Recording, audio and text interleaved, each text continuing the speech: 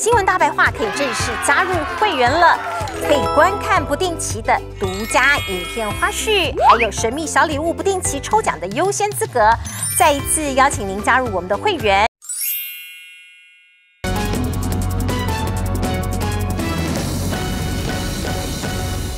好，观众朋友平安，欢迎您收看新闻大白话，我是节目主持人钱子。先介绍今天的来宾，首先是评论员陈辉文，大家平安，还有军事专家施孝伟，大家好，以及评论员黄伟汉。主持人好，观众朋友大家好。好，各位观众朋友，昨天三零三全台大停电，你家有没有电？你有电可用吗？我们全台湾有五百四十九万户啊，昨天惨兮兮无电可用，每个人都遇到很多的状况。今天我们就要问的，到底谁该负责？问题到底出在哪里呢？经济部长王美花哦，恐怕到现在都还搞不太清楚哦。因为昨天晚上九点半，他开记者会说明，除了宣布哦，台电董事长还有总座要请辞下台之外，他自己是要自请处分。只是非常尴尬的一幕出现了，记者会一开始就有意外，他愣住了耶，不会处理。我们来看看。那我也在呃下午的时间哦，也到呃行政院跟呃苏院长做报告，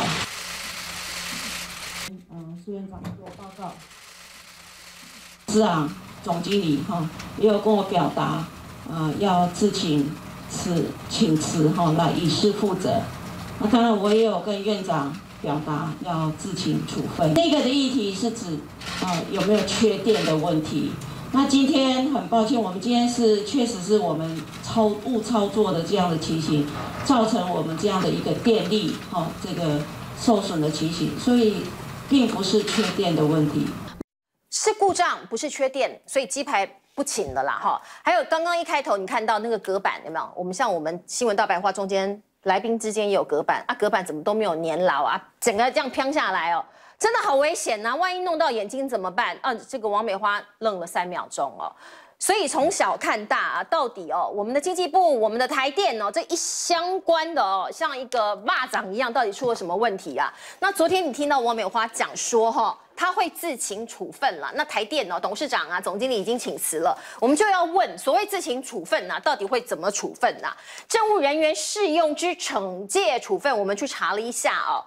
有两种撤职以及申诫啦，哦，要看你犯的错哦，你这个负责任到哪里呀？不晓得苏贞昌会用撤职还是申诫来办王美花哈？那你可以做什么样的惩处呢？包括你免除他的职务、撤离嘛，哦，撤职、剥夺或者是减少他的退休哦、薪俸等等哦、减俸哦、罚款以及申诫啦。哦，不知道。当然可大可小哦，那行政院现在都还没有回应，不知道他做什么样的惩处。今天我们也可以看到苏贞昌说已经请台电呢把这个调查报告写好，然后经济部拿来给他看哦。三天之后，我在想我们都已经忘记这件事情了哦。你不赶快速战速决，因为很多人都说王美花应该下台，连阿扁前总统都发声了嘛。那当然我们要看到总统蔡英文哦，今天其实他看起来也蛮生气的，因为一早他改变了他的行程。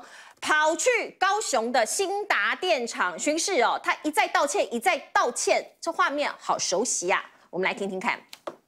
首先，对于昨天的停电事故造成国人同胞的不便，我要表达歉意。特别是停电时间比较长的南部县市的乡亲，我更要表达歉意。内啊有两次这样的情况哦，我想不只是民众很难接受哦，我也很难接受哦。好，观众朋友，你看到后面这一段是二零二一年的五一三跟五一七的两次大停电之后，蔡总统说遇到这两个事情哦，遇到这两次停电，我感到非常抱歉，大家都很难接受啦哈。连我都很难接受，拜托，还不到一年呢，哦，才半年多又发生这么一次大跳点，而且呢，这个影响的范围越来越多，越来越深，越来越广，我们受到的损失也越来越大，民众还要忍耐吗？或是民众还要哦这个？觉得说没有关系吗？再给你一次机会吗？我不知道哦。台湾人真的是非常的温良恭俭让啊！哦，你不能接受，王美花也不能接受，大家都不能接受，那民众就该接受吗？我们来看这一幕哦，这是发生在昨天新竹的一个这个国中的一个呃管弦乐的一个比赛啊，呃，新竹市成功国中正在演奏哦，才刚刚两秒钟就断电了。那一场这个演奏非常精彩，我们来听听看。看到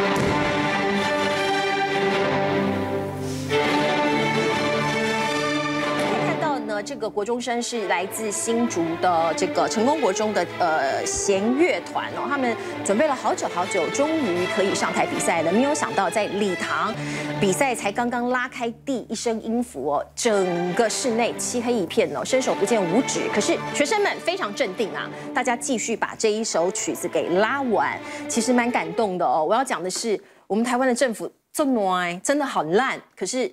人民的素质非常高，来请教伟汉。呃，我没有想到前子会把那个影片 Q 出来。昨天其实，如果说在这个三三大停电，有什么事情值得大家还有一点点觉得说啊，小小安慰，会觉得说值得称赞的，就是新竹县的这个成功国中，它不是高中哦，国中生而已。我其实我听了好几次，昨天那个影片很感人。那那我在想啊，因为我们用机器拍啊，肉眼可能完全不见，可是他们现场可能还有一点点微光。可是观众朋友。电突然没有以后，他们完全处变不惊，继续把他的演奏给完成。应该要有电给他们演奏的，可是没电了，对不对？然后他们还继续演奏，所以大家给他们一个赞。应该有电的，但是没电了，那部长该怎么样？那当然就是下台啊！李世光他在五月这个八月十五号，二零这个一七年那一天大停电，八月十六号就下台了，一天都下台了。为什么王美花那么多次还没有下台啊？所以其实这重点就是没有要去逼王美花做什么事，因为你是承诺大家的。我昨天在我们大白话就跟大家讲了。斌哥说要吃鸡排嘛？我说王美花一定不会请的，他一定会解读说没没有缺电啊。我跟郭董赌的是台湾缺不缺电，可是台湾都不缺电，只是机器坏掉了。阿里公车狗气杀，你直接告诉我们台湾有没有电就好了。民众是要有电，就像你今天跑到一个餐厅去，他说小龙虾吃到饱，你到了现场以后，你钱也付了以后，没看到小龙虾，拍写我们那个货运的今天就是迟到，所以他没有送来，没有送来你就不应该收这个钱。你说台湾要有电，没有电你就应该负责嘛？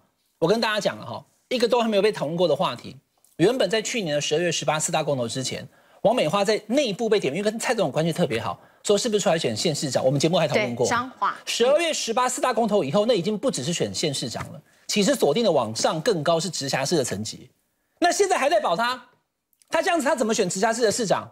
你要让郑文灿哭吗？所以基本上你今天就应该下台。你说我把这个跳电的事情，不管怎么样设备的事情把它做好，很简单嘛。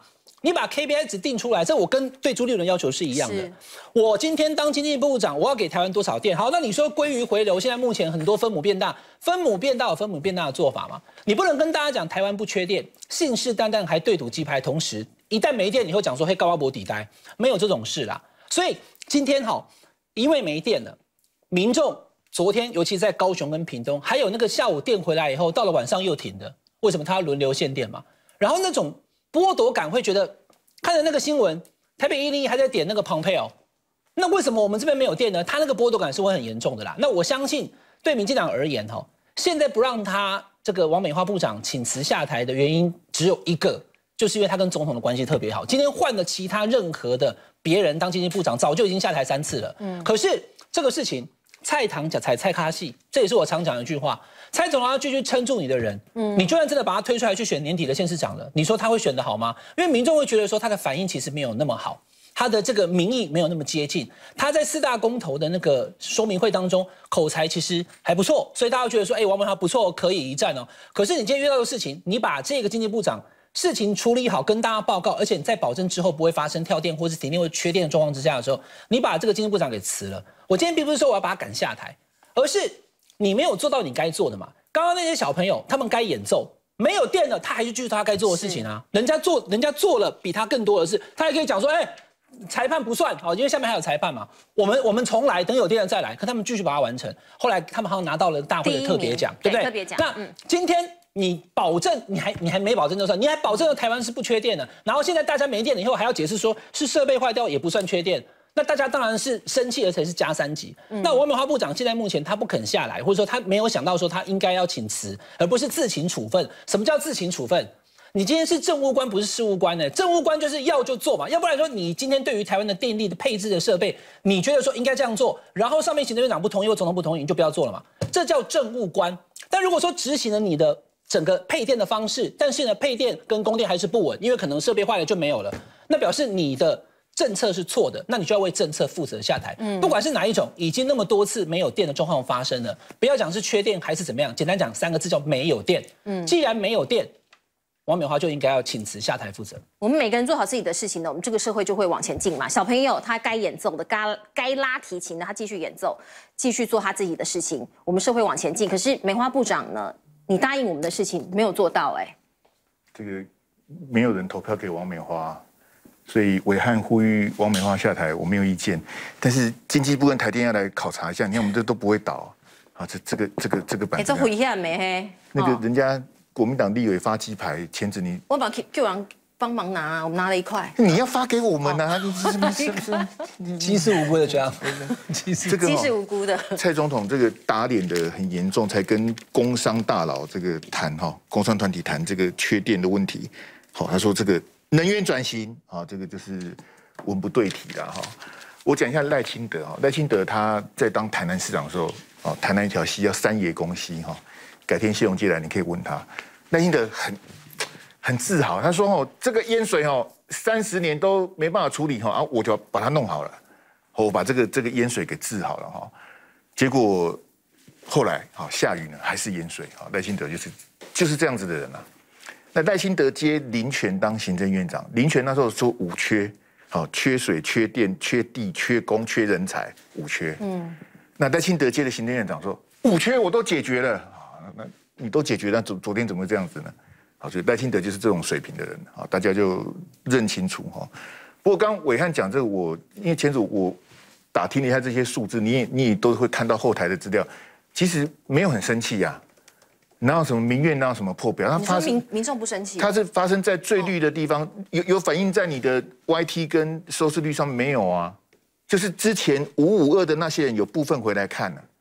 还没有回到那个时候，那八一七根本就啊停电了，停个那前阵你你自己讲嘛，是蔡总统任内是王美花当部长第一次跳电，第一次没电吗？第三次不是嘛？嗯，光蔡总统就四次了，王美花我就不不谈他，因为不重要。那结果是什么？结果是民进党还是赢呢？不是吗？观众朋友，我有讲错吗？四大光头三阶跟电有关，核四也跟电有关，都是民进党赢呢。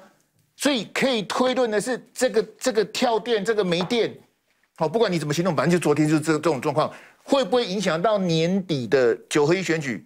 会不会影响到二零二四的这种？不会嘛，因为之前都跳过了，都是当年当年爱与包容发挥在这个地方嘛。所以今年年底的高雄，因为没现在距离民调还很远啊。高雄市长谁连谁当选，还还是陈其迈啊？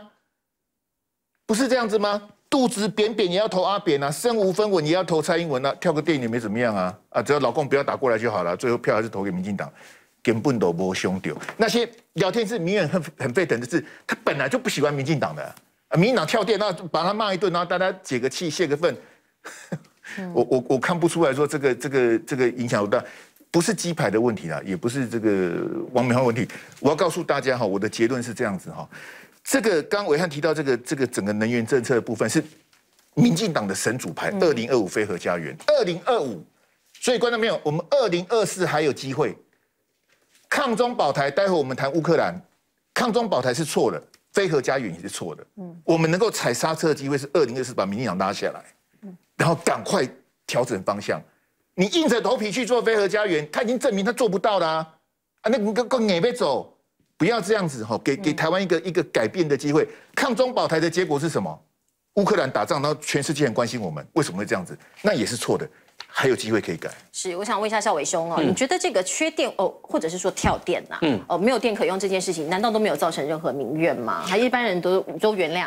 哎，其实像这个事情说真的还蛮复杂的啊，因为现在大家对于这个供电问题啊，就是很大一个问题，就是说大家其实真的搞不清楚哈，因为电是一个科学，发电与否是一个科学，你要多少电厂产生多少电，但但是我们不不可不得不否认哈，就是呃，现在执政党他真的其实还蛮会说服民众的，也就是说呃，大家可能听了这个呃这。那个执政党说铁以后就相信他了，但其实以台湾现在的能源配比来讲，甚至你说在军事上来说哦，都都不是一个安全的一个状态。例如像台湾现在靠靠非常多是靠那个天然气，天然气未来在那个执政党的这个能源论述里面啊，要占到快五十趴。但是大家知道吗？哎，我们最近哈那个要加入制裁俄罗斯的行列，我们跟每年跟俄罗斯买蛮多天然气的。十趴对不对？占我们的十趴。对啊，那个那这些天然气怎么办？那当然啊，当然你可以透过别的方方向跟别的国家这个加码购买哈，也是可以那个弥补回来。但是我们讲到就是说，今天天然气在在国防上面来讲，它之所以哈那个脆弱性在哪边呢？就是你一个天然气船，万一被人家攻击了，或是万一哈今天攻击军知道你哈你你这么大的这个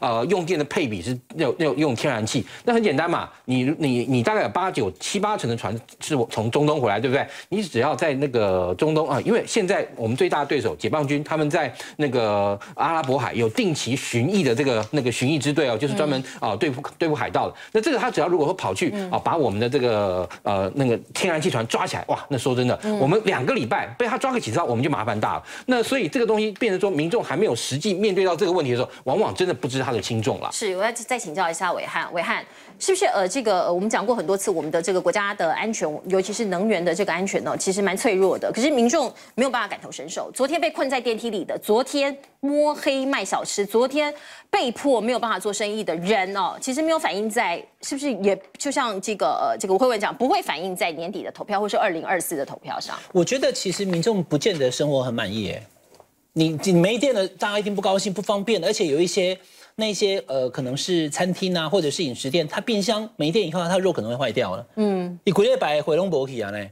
那它不会，大家不要解读成说这个事情其实民众没感觉，而是说是什么事情以至于说这些民众对于民进党的这一些施政上的不便，像之前疫苗没有买到，嗯，像我们鸡蛋也真的难买。那他不会因为说像辉荣哥讲的，就这政府不好，所以我要换了。因为他对于要替换这个政府的其他选项，看起来很不相信。那问题是没没没有，我要跟我要把话讲清楚哦。那这个也是民进党，他长期以来他把人设就国民党就是中共党啊，他就是中共同路人，所以民众不想把这个执政的权利交给其他的政党。那台湾民众党也一样是槟榔嘛，一样是白里透红，都是啊，除了我以外都是中共同路人。那我就说这种状态在选举的时候，他可以长胜。嗯，我不我不敢讲永远都胜，长胜常常胜。可是打上了以后有什么用？打上了以后，那些被你讲成中共同路人呢，跟你一样在这这块土地上面，那不团结就没有办法了。所以我才会讲说，面对战争跟面对选战是不一样的状况。那以这个状况来讲哦，我必须要跟大家讲，王美华部长他现在没有下台，这个是完全没有道理的。